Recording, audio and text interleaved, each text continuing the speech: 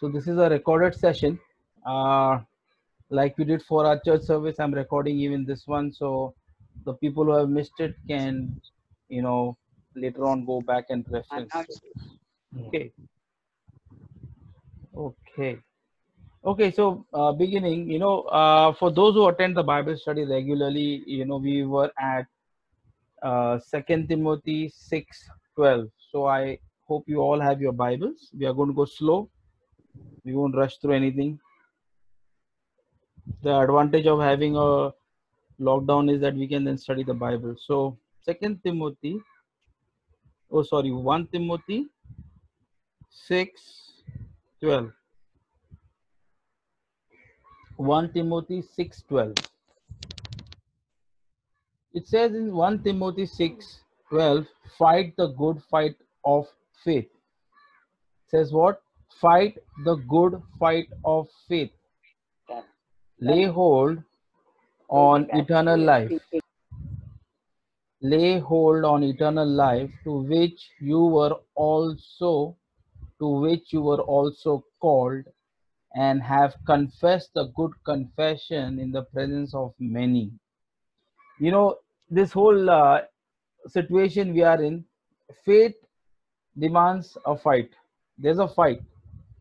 Yeah, there's a fight. And I, even as I was studying this, and uh, uh, if you are following the videos that we are putting up on the YouTube, you can uh, see the different aspects that God is releasing to us about faith it's very important and as we are going why do we need to fight for faith you know why do we need to fight the good fight of faith you know it's a good fight as we all know. This fight is where we win but why should we have a good fight of faith?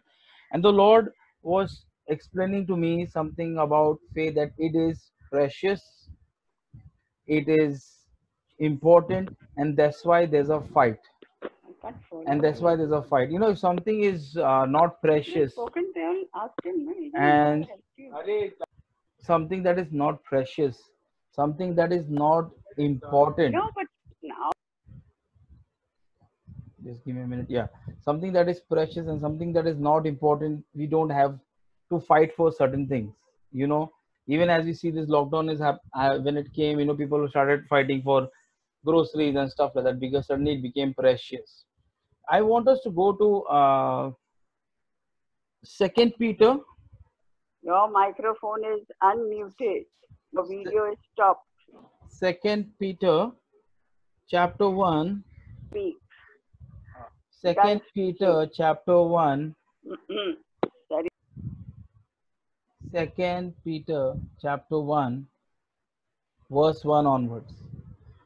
You know there is something i want us to learn as we look at this. It's very important uh, what peter is telling us about faith here. Second peter chapter 1 simon peter i'm reading from the new king james version.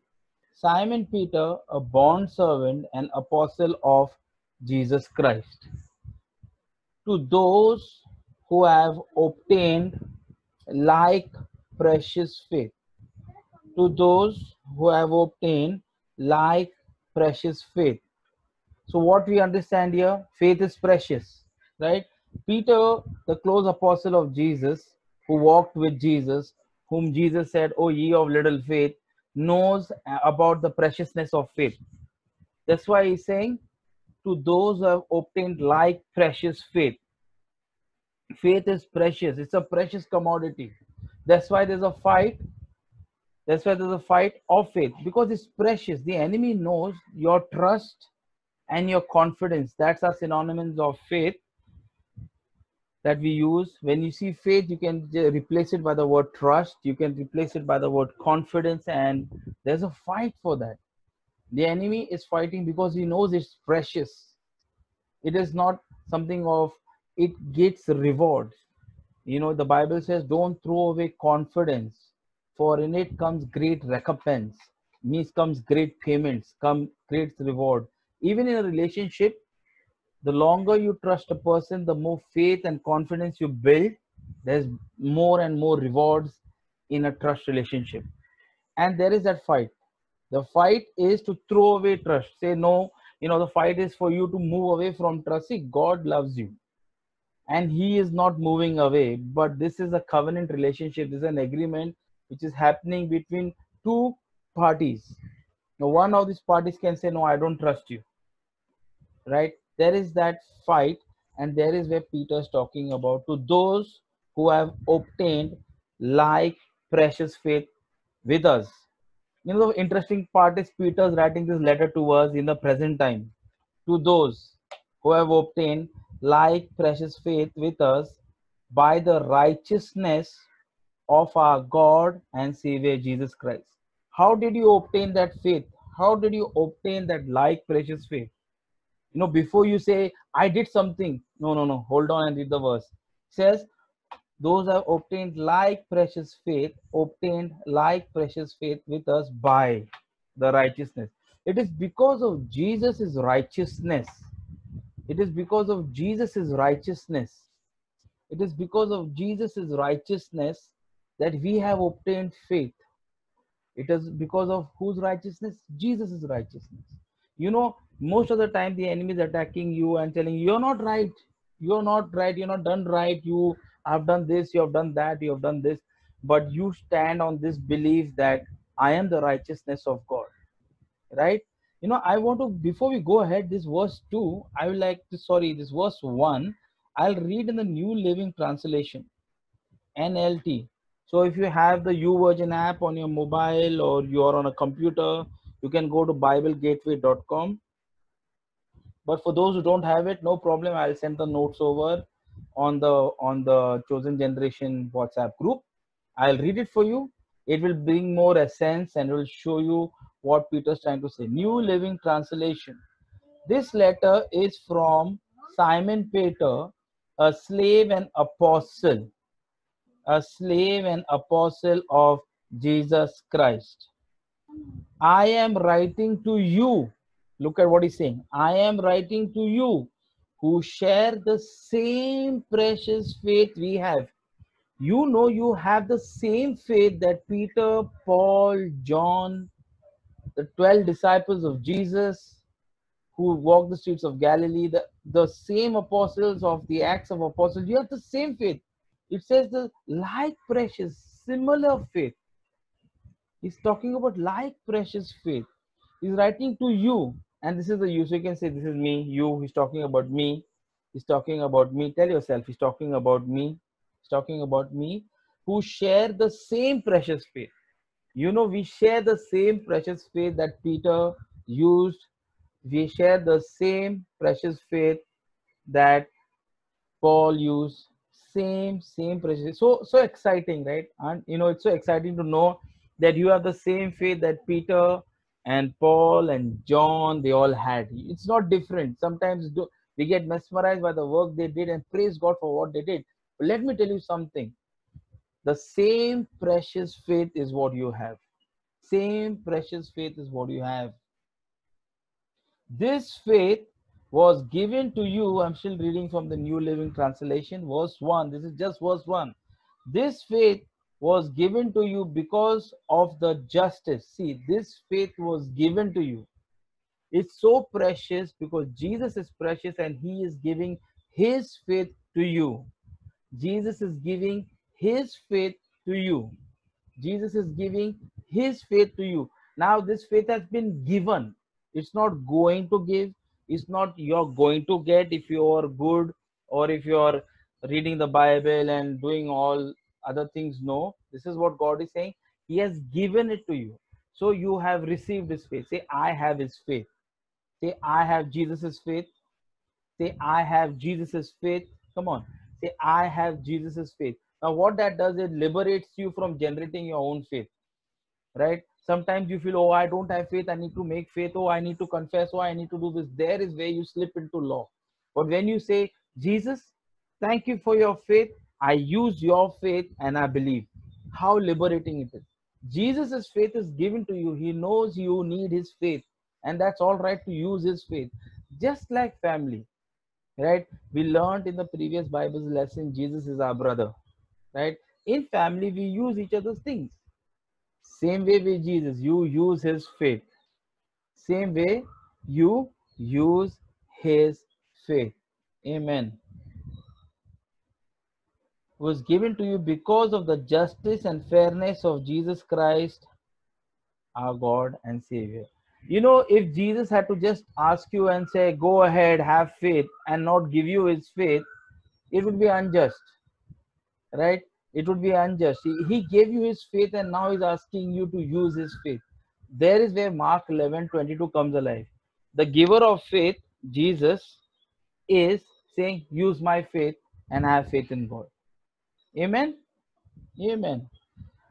Let's go on reading Second Peter 1, What is that number? verse 2.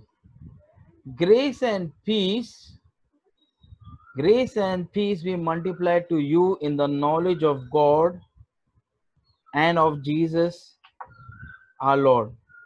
Grace and peace be multiplied to you in the knowledge of God and Jesus our Lord. Grace and peace. So, as I was studying this, this is what the Lord showed me. He's saying the more you know Him, the more you know you have favor. The more you know about your God, the more you know you have favor. Right? What does Ephesians 1 say? Okay, let's let's quickly go to Ephesians 1 and then come back to First Peter. Second Peter, sorry. Ephesians chapter 1. All of us know it. Bible stu- students, we know it, but I would like to read it. Ephesians 1, verse 3. Ephesians chapter 1, verse 3. What it says? Blessed be the God and Father of our Lord Jesus Christ, who has blessed us. Who has blessed us. There it is. There is one verse that tells you you're already blessed. Now, when I tell you that you're already blessed by your God and Father, isn't that causing peace in your heart? Yes, it gives me profound peace to know that I am blessed. I don't need to do anything to be blessed. Right? So there is where Peter is talking about grace and peace. When you know the Father, you know you have favor. When you know you have favor, you have peace. Let's let's you know reverse the statement. When you don't know you are blessed, when you don't know you are blessed, you don't know you have grace. When you don't know you have favor, right? What will happen? You will you have peace? No. You'll be wondering how should I get favor? How should I get blessings? Oh, I need to get up in the morning three hours and pray. Oh, I need to do. I could not put my tithes because now lockdown is happening. Oh my God! Look at it. Now you're fretting and fussing. You know, you're fretting and fussing like a sinner, which you are not. But you tell yourself, I am blessed. What happens is every time, every time you go to God, He shows you how much He loves you. And when and because He shows you how much He loves you, shows you how much grace you have. He says, Hey, no matter what, you don't deserve what is grace? Unmerited favor, right? So he tells you, you don't need to do anything undeserved. You don't do anything yet because I love you, I have blessed you. Now, when you have that knowledge of Him, there is peace, right? We are praying for peace without knowing we already have peace. We are praying for grace without knowing we already have grace. Increase in the knowledge of God to know what He has given you. See, Genesis chapter, sorry, Ephesians chapter 1, verse 3. We just read one verse, and it sparked off such a you know a jump in my spirit to know that blessed be the God. I can bless my God because He blessed me. Right? Okay, let's go back to let us go back to where we were, Second Peter chapter 1. Second Peter chapter 1, verse 2. Grace and peace be multiplied to you. Grace and peace be multiplied. It's a multiplication. Jesus multiplies. Jesus multiplies. Wherever Jesus he multiplies. So grace and peace be multiplied to you in the knowledge. The more you know God, condemnation and law does not multiply. Right? Fear does not multiply the more you know God and the more you know that He He loves you, the more you know that He cares for you, the more He you know that He's given Jesus for you, the more you base your belief on His love, grace and peace multiplies. You know when it is it is like a relationship when two people come together they multiply, right? right? When two people come together, then God wants you to come together with Him, and the more closer you know Him, there's the multiplication of grace and peace. Now let's go to verse 3. I want to show you the connection of how precious your faith is and your providence. You know, that's why we came from verse 1 saying we have like precious faith. Amen. And now we have the same faith that the apostles have, which is given to us by Jesus. We have established that. Now, what it says, as his divine power has given to us all things. Hmm. As his divine power, that is the grace. So you can say, grace has given to us all things. His divine power has given to us all things. What tense is given? Past tense? Is it saying will give you as his divine power? As God's power has given to you all things, that word is everything. His divine power has given you what? Everything. Has given to us all things you know whatever you are praying for all things is all things. Maybe it a box of milk or uh, maybe it a promotion he's given to you all things. You know jesus is interested even in your groceries. And jesus is much he's also interested in your spiritual development. He's interested in every facet of your life. So his divine power has given to us all things. Now he has given i need to use the faith he has given me and receive it if I don't believe him, how can I receive from him? If I don't know somebody, how will I receive? If I'm going now today to on the road at this moment in this lockdown, if you're going on the road, anybody comes to shake hand and give you give Baba, you say, I don't know you, I'm not going to take it. Right? The same way what the enemy is attacking is telling you you don't have a good God, so you cannot take from him. But I am here to encourage you, you have a good God and he has given oh i like this word given because it's not that i am going to get or if i pray long i will receive. Or i'm praying to receive. No you have already been given. You've already been given given to us all things that pertain to life. Whoa. It didn't write spiritual life though. Pertain to life. So any life your life on this planet all things have been given to you. Use this verse stand on it, right? That pertain to life and godliness. Again, see the verse. Through the knowledge of Him, the more you know Him, the more you know what you have received. The more you know Jesus, the more you know your kingdom rights. The more you know Him, and knowing comes basis of trust and confidence in Him. The more you know Him, the more you know Him, the more you know what grace has done for you, the more you know about grace, the more you have peace. Through the knowledge of Him who called us by glory and virtue, by which have given to us exceedingly great and precious promises, that through these you may be partakers of the divine nature. God is calling you using His given faith using his given faith and by the power of the Holy Spirit to come and be partakers, partners. You know, last time uh, we had a Bible study at my place Monday, two weeks ago, and I was, uh, Mittal was there, and I'm going to use Mittal's example again. Mittal has a brother, she loves him a lot, and I know they are her family, I know her brother. Now, for, I'll explain to you something. Just because Mittal's brother's name is Chirag, and just because Chirag is Mittal's brother, that does not make him a business partner. Agree? All of you are looking like, oh, what is saying? Yeah. Just because I have a brother, and if I start a business, does not make him a business partner. He is my brother. Here, God is calling you to be partakers. God is calling you to be his partner. Look at the verse again. That we'll read it slowly.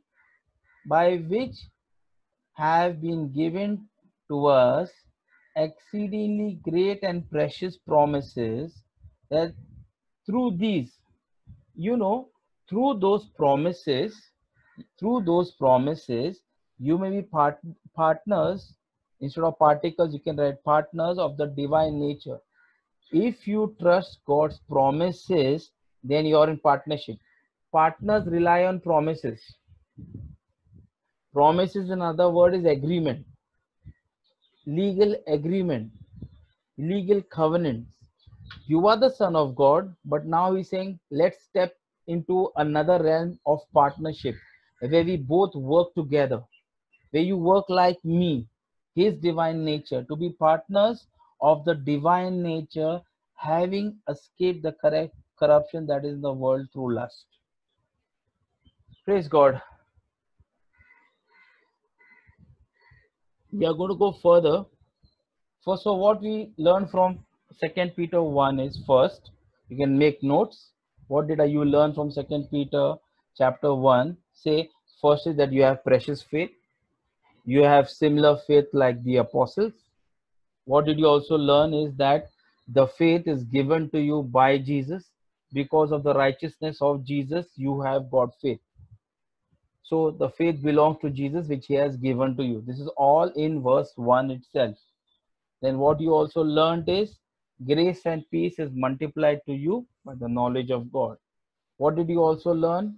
That his divine power has given to you all things pertaining to life and godliness. Now, the next stage is God is saying, Now, basis this, my dear son, basis the belief and the trust, let us come into partnership and work as partners. Okay? Great. You know, Peter, very interesting fact is Peter could write about faith. You know, I, I, I want to, before we go ahead, I want to tell you something is we have help. You know, sometimes you may just feel that, you know, my faith is not strong or we may feel that, oh, you know, am I doing the right things? And a lot of things may happen to us. You know, Peter, he's a guy who knows about faith. Let's go and read a little bit about the life of Peter. Why he could write such a thing? Are you interested to know why Peter wrote such a thing? Okay, wait, great. Let us go to Luke chapter 22, verse 32. Luke chapter 22, verse 32. I am going to show you Jesus as your intercessor. I am here to encourage you to tell you that you have a praying Jesus. No, we why we uh, went through one Peter, uh, sorry, Second Peter chapter one is basically to understand what faith is. Now we use our faith to believe that Jesus is my intercessor. Do you believe? You know, I want to show you in the Word of God that Jesus is praying for you.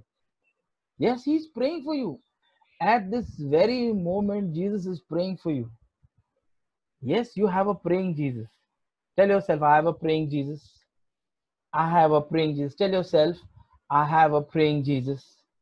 Come on, tell yourself, I have a praying Jesus. Yeah, you should be very encouraged. If nobody prays for you, Jesus is praying for you.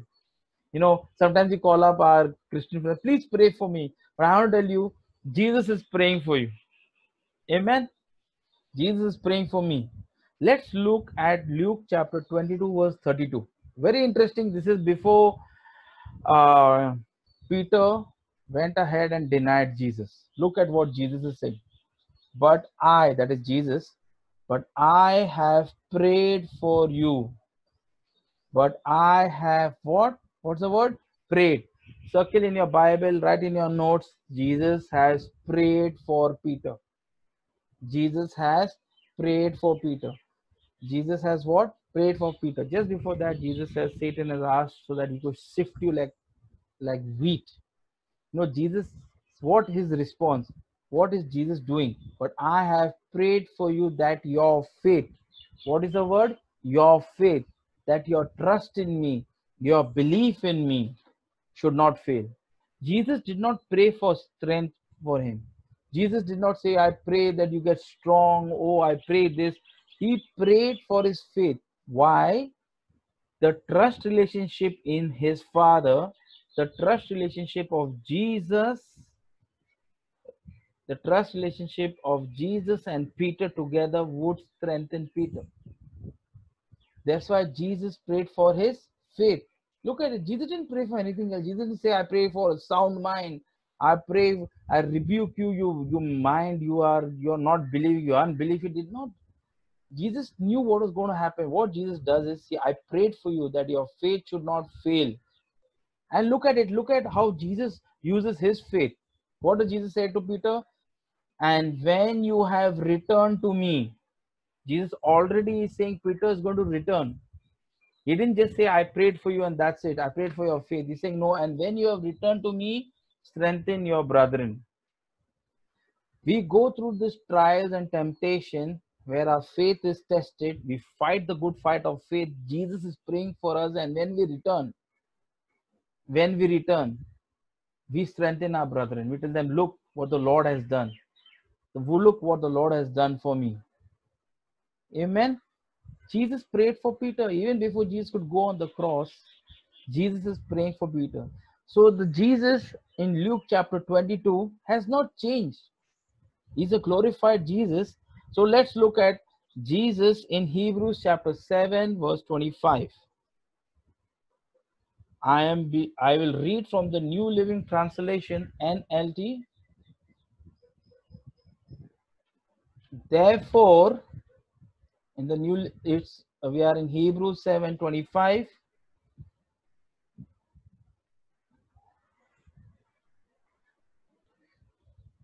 Therefore, he is able once and forever to save those who come to God through him. Therefore, he is able once and forever to save those who come to God through him. Once you come to God through Jesus, once you say, Jesus is my Lord, you have come to God through him. Jesus said, I am the way, I am the door. You have entered into the kingdom of heaven through Jesus. He is able once and forever. Once you say Jesus is your Lord, you're saved. That's why it says, therefore, He is able to save. He is able once and forever to save. You know, every time something wrong happens, every time you feel that you have not behaved Christian like, your salvation does not go away. It's not like Jesus says, Oh, we got to save him again. Oh, let me go and save him again. It is not your behavior that determines your salvation because your salvation is based on man called Jesus Christ, who is your savior. The savior saves, is his job. The savior saves you once and for all. You're saved. It does not base bases your character and bases all that. You know, once you're saved, Jesus starts working on you and he brings in the change. So that's why it says, therefore, he is able once and forever to save those who come to God through him. Even here, he lives forever. Look at what it says in verse 25. We're still there. 725. Hebrews 725. He lives forever to intercede with God on their behalf. After Jesus has saved you, now he's praying for you. What a wonderful Savior we have. You have a praying God Wow, religion says pray to God. Here, your God is praying for you. Aren't you excited? He is praying for you. He is praying for you. Tell that to yourself. Say, Thank you, Jesus, for praying for me. Thank you, Jesus, for interceding for me. You know, I want to read this from the, the Passion Translation. Really brings forth uh, some awesomeness to it. You know, the TPT, if you have it, well and good uh, you can use it and read along with me. So he is able to save fully from now throughout eternity. There it is. Amen. I'm so excited that it says he is able to save. Jesus has the ability to save fully from now. From now. Whenever you say Jesus is Lord, 10 years ago, 5 years ago, yesterday, he is able to save. He is able to save fully from now throughout eternity till out throughout eternity you know whether jesus comes before you go to heaven or you go to heaven before jesus comes does not matter you are saved that is what the word of god is saying here everyone who comes to god everyone who comes to god through him because he lives to pray continually for them The word intercede in the Hebrew means to pray. Jesus lives, oh man, he lives to pray. You know, when I read this verse, in my spirit, it just jumps up to say, Jesus rose up and he said, I want to pray for my my brothers. I want to pray for my brothers. I want to pray for them. He is praying for you continuously. There's not a moment in heaven where Jesus is not praying for you. It's in the Bible. It's in Hebrews 7:25. It's in my Bible. It should be in yours, but it's in my Bible, and I'm happy to know that even in this situation, if nobody is praying for me, Jesus is praying for me. He lives to intercede or to pray continually for them. You know, the word it says is able to save, it is also means is able to save at all time, is able to save always. Right? Let us see Romans 8 34. Oh man, I am here to show you, and here the Lord wants to tell you, even in this time, you know, it's, it's you pray for each other, praise God. But guess what? Jesus is praying for you. And because we have a praying Jesus and we are like him, just as he is, so are we in this world. That's why we pray. Right? Because Jesus is praying continuously, you are praying along with him. I am here to tell you, you have help. You have help. Jesus, my intercessor. I have a praying Jesus. I have help in weakness. Let's go and see Romans 8:34, New King James Version. New King James Version. Who is he who condemns? Here's a nice question Paul is asking, and the Lord is asking, Who is he who condemns? Nobody can condemn you.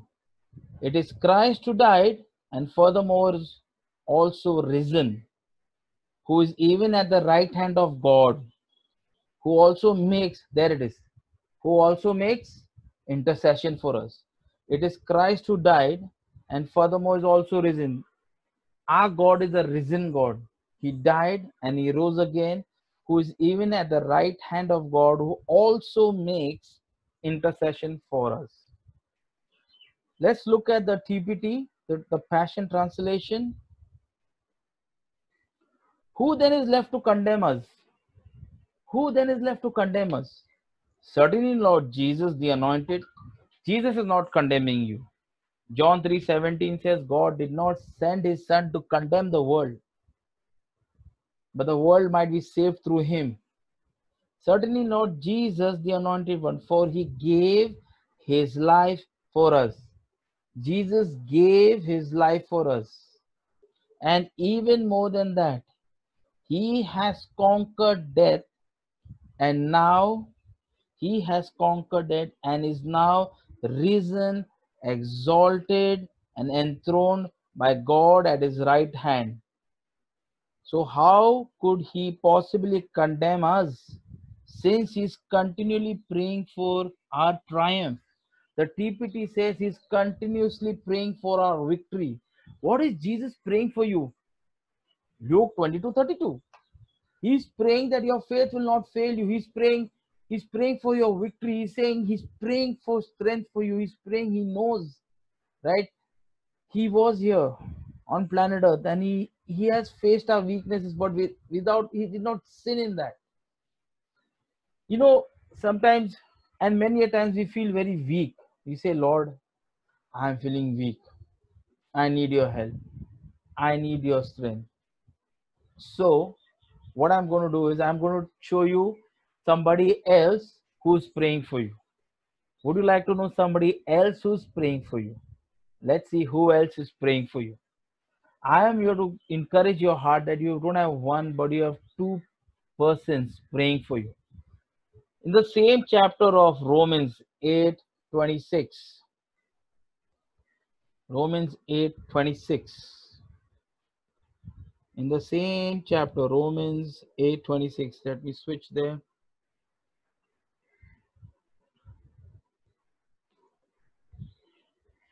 romans 8:26 likewise the spirit also helps in our weaknesses Amen. Thank you, Holy Spirit, for helping us in our weaknesses. Thank you, Holy Spirit, for helping us in our weaknesses.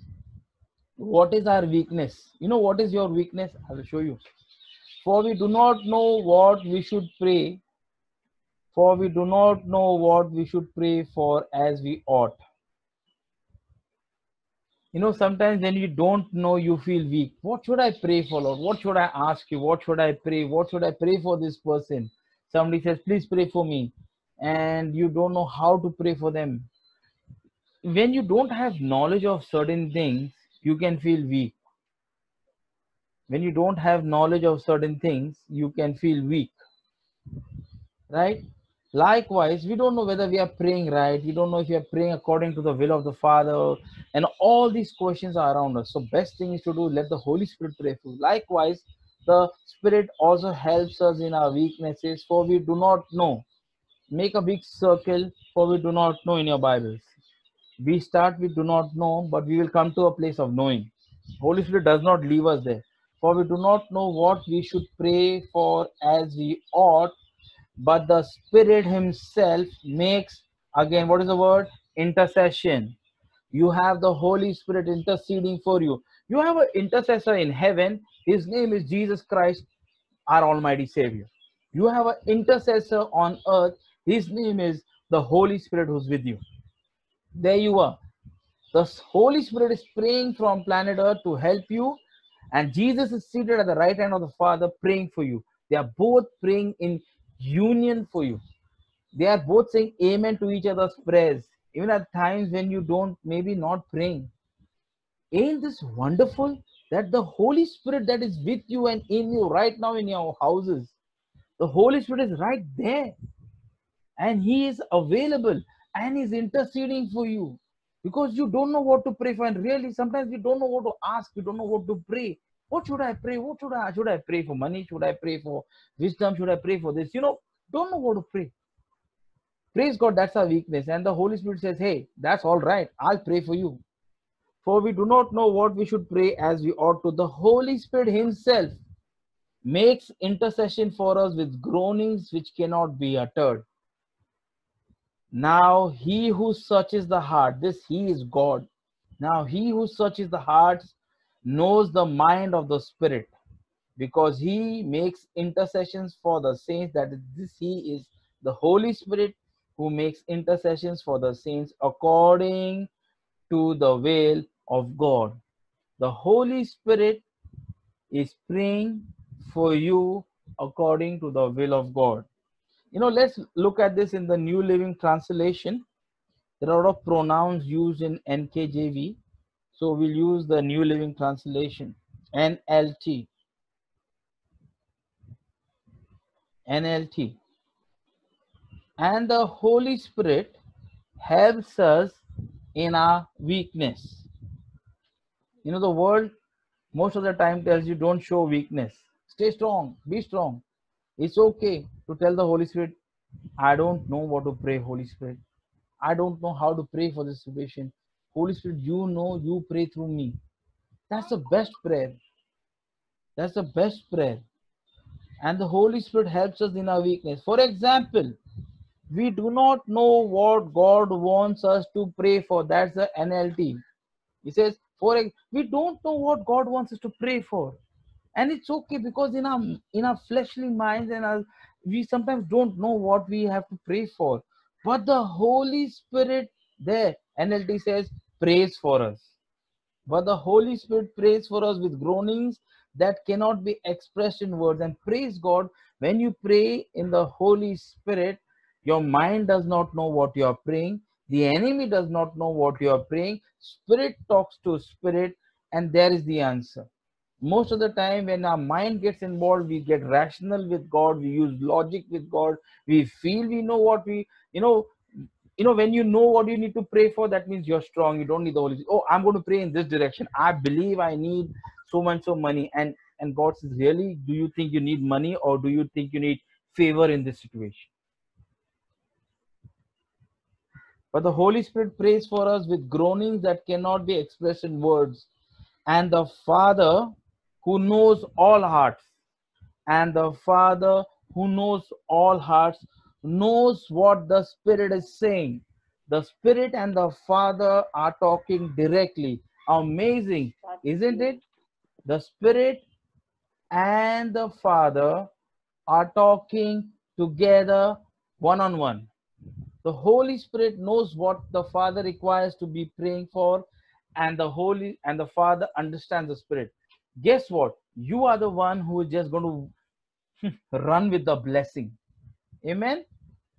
Amen. And the Father who knows all hearts knows what the Spirit is saying. For the Spirit pleads for us, believers in harmony with God's own will. There it is. There it is. Let the Holy Spirit pray through you. The Holy Spirit will pray in tandem with Jesus, and they the, they will all be one, and we'll be one with them. Right? You know, in our prayer life, it's okay, and it is very important as believers if you if you can speak in tongues, pray in tongues. In this situation, don't know what to pray. Whether we should pray for a vaccine, whether we should pray for uh, the virus to die out, whether we should do this, we should do that. You know, there's so many things, and sometimes we just complicate it and we step out into our flesh and we start. Why not let the Holy Spirit pray through you? Because He wants to pray through you, so that when He prays through you, the Father knows what the Spirit is saying. You may pray in tongues, and when you pray in tongues, the Father knows. It is it's just you and the Father. Even when Jesus says, when you pray, go into your closet so you can speak to your Father in secret. And this is the prayer that the Father enjoys, where you are praying to Him in the gift of the Holy Spirit. You're praying to Him in tongues, and He He says, Amazing. This is the prayer. Because you're not rationalizing, you're not using your mind. Now, you know, most of us Christians, we Romans 8, 26 and 27, and then comes verse 28. We started at 26, for we do not know, right? For we do not, likewise, the Holy Spirit also helps us in our weakness, for we do not know. But when you start spending time with the Holy Spirit praying through you, you come to verse 28, and then you say, We know. There it is. He does not leave you at a stage of not knowing, but what he does, and that's why there's an and because it's a conjunction, it's a connecting word and and would you like to have some tea? Yes i would like to have some tea and biscuits. They are not two different things. And it's continued just because in the next verse that does not mean it's a different line. Most of the time you have taken this and say and we know but how do you know this is what the lord asked me when i was reading. Saying how do you know? Read up. So you start with this place i don't know. It's my weakness. Holy spirit pray through me. And the holy spirit prays through you. And he prays and the father what it says and he prays according to the will of the father. So what? You're the son of god. You're the son of your father. What happens is now and we know. And we go to this place and we know. All things work together for good to those who love god those who are called according to this purpose. There it is. From a place of not knowing you come to a place of knowing. But how did this all happen? It all happened when you believe that you have two intercessors jesus at the right hand of the father praying for you. Same romans 8:34 says. And let's go back to romans 8:34 who is he who condemns it is christ who died and furthermore is also risen who is even at the right hand of the father who makes intercession for us. We have jesus interceding for us at the right hand of the father. We have holy spirit with us interceding for us praying for us. And when we use our faith which is precious and given to us by jesus we come to this place of knowing that all things work together for good. All things work all these things are working together for your good. All things whatever this lockdown slow down sitting at home all things is included in that right? And we know. God brings you to a place of knowing his knowledge. Now see when you use that verse and we know and we use knows knowing is knowledge what happens grace and peace is multiplied When you know you have intercessors, when you know God loves you, right? What happens? Your grace and peace is multiplied. There is where the enemy is attacking us so that we don't know. Once we stop knowing, no grace and peace. Amen. I'm here to encourage you.